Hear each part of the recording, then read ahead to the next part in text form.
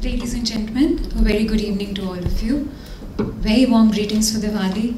It's a small audience, but we're glad to see all of you here. Thank you so much.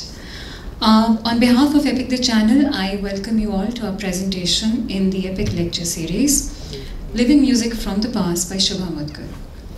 One of the most versatile and popular performers in India, Shubhaji needs no introduction. Equally at ease with Khayal and Thumri, Dadra, as with indie pop and contemporary cross-cultural experiments, Shubhaji is a recognized composer and the recipient of several awards. She has also been closely involved with several projects related to music education in India. Today she shares some thoughts on the documenting, archiving and harvesting of the treasures of Indian music. Ladies and gentlemen, over to Shubhaji. Namaskar to all of you and greetings for the season. Um, thank you very much for sparing time, especially on, on a day when I know many of you would be busy with Bhai Dooj and other celebrations. But thank you for being here. I'm also grateful to the India Habitat Center and the Epic Channel for giving me this chance to speak about some of the projects um, concerned with archival music um, and I, I, cherish the opportunity to share some experiences with all of you today. Um,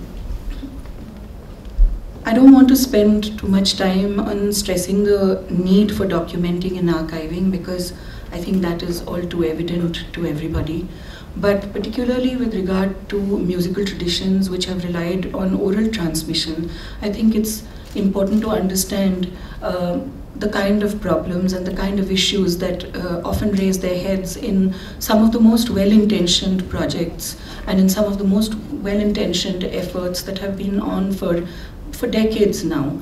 Uh, a lot of people have already worked on archiving, on documenting, and on sharing, um, disseminating from those archives. And um, although I don't have a kind of a comprehensive pan-Indian um, list of those. Some of those with whom I've had the chance to work, I would like to mention their work and their contribution in the field. So, of course, there is the one big center, the ARCE in Gurgaon, which houses a lot of collections, a lot of um, information, different um, uh, material in different formats, a lot of music collections uh, which have been housed there by different scholars working on Indian music over the ages.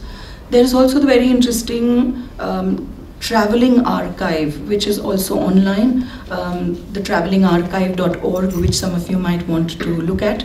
This is uh, primarily uh, the work of a singer from Bengal, Moushumi Bhowmik, who has been traveling in several parts of Bengal, um, staying with musicians, traditional musicians and folk musicians in the area, and has built up a kind of, in fact, she mentions it in the traveling archive, and I thought I would mention this point here, because I think this is one of the problem areas when you're working with documenting and archiving. She talks of building up a great deal of trust.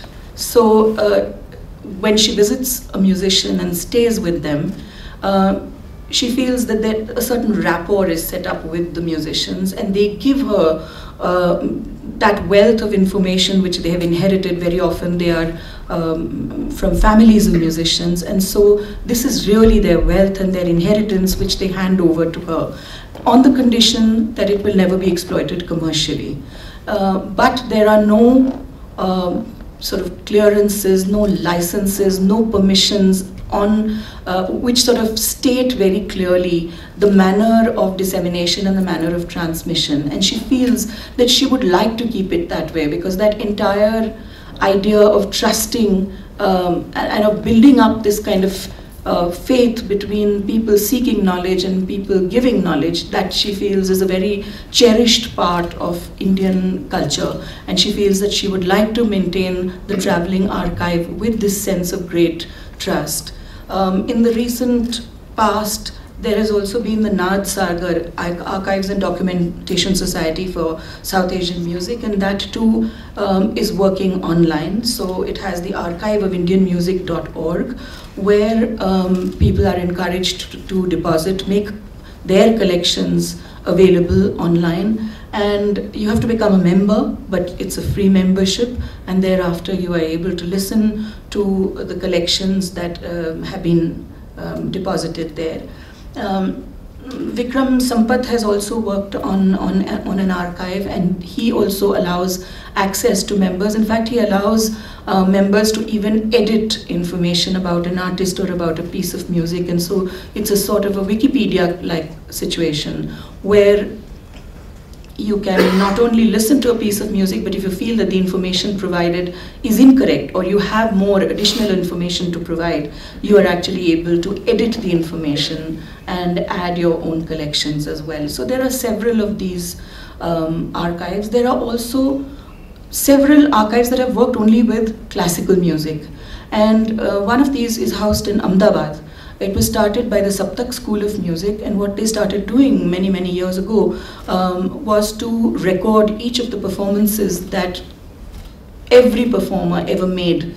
Um, unfortunately, you know, I've been working with, I've been performing for them since I was in my early 20s, and so that's a long, long time ago.